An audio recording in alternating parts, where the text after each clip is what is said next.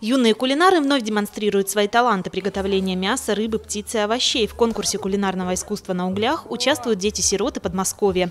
13 команд съехались из различных уголков Московской области в деревню Алмазово.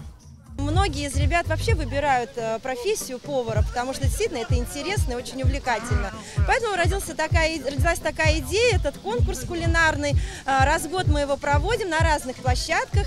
В этом году мы, э, с учетом, что у нас прекрасная погода, летом мы решили выбрать площадку Щелковского района.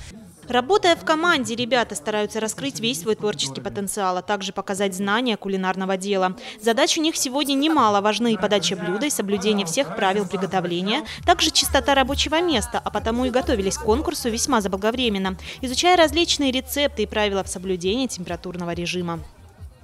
Мероприятие мы проводим ежегодно, причем э, мероприятие придумали сами ребята несколько лет назад, потому что э, мы начали реорганизацию в наших детских домах подмосковных и стали переходить от интернатного типа к квартирному семейному. Дети живут совершенно в других условиях по семейному типу.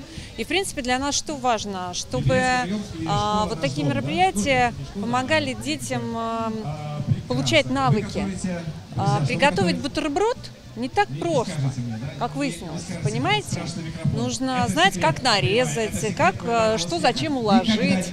И, собственно говоря, здесь даже дело не а, в кулинарных навыках, а в общении с людьми, которые сделали кулинарию своей профессией.